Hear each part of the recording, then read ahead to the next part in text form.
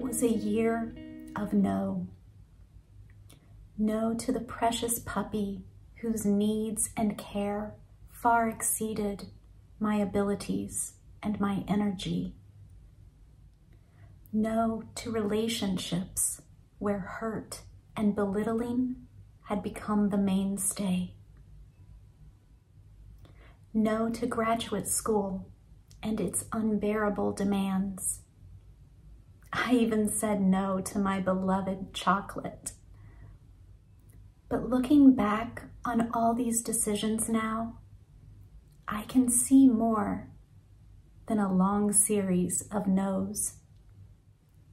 I see that it was a year of trying, a year of waking up, a year of spirit letting herself free to heal and become, and a year of honoring inner light.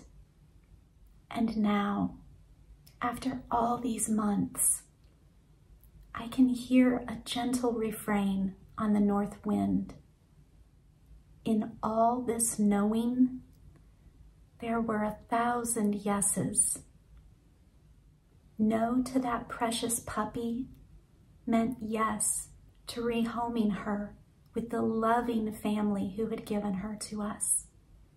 And it meant yes to my family restoring balance and margin.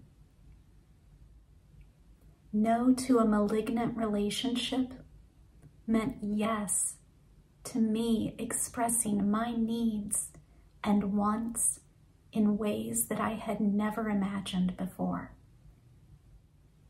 No to graduate school and to its unsustainable requirements meant saying yes to my body, my intuition, and yes to all the other ways that I can connect and give love in the world.